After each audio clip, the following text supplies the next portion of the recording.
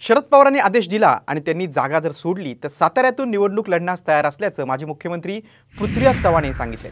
सध्या साताऱ्याची जागा ही शरद पवार गटाकडे आहे. मात्र साताऱ्याची जागा जर काँग्रेसला देऊन भिवंडीची जागा शरद पवार गटाला मिळणार अशी आता सूत्रांची माहिती आहे. हा मतदारसंघ राष्ट्रवादी काँग्रेस शरद पवार गट यांच्याकडे गेलेला आहे. की हा निर्णय राष्ट्रवादी काँग्रेस शरद पवार गटाचे नेते पवारसाहेब यांनी घ्यायचा आहे. त्यांना आमची एवढीच विनंती आहे की आपण चांगला सक्षम उमेदवार द्यावा. जो इथं भाजपला येऊ देणार नाही रोखून ठेवेल. आणि तुम्ही जो उमेदवार द्याल त्याकरता आम्ही सर्व ताकदीनं काँग्रेस पक्ष आणि सगळे पक्ष तुमच्या मागोबा तुतारीचा विषय आहे तुतारीचा आहे. तुतारीचा निर्णय त्याने घ्यायचा आहे. समजा काही ह्याच्यामध्ये झालं की नाही आपल्याला काही इतर पर्याय सापडत नाही.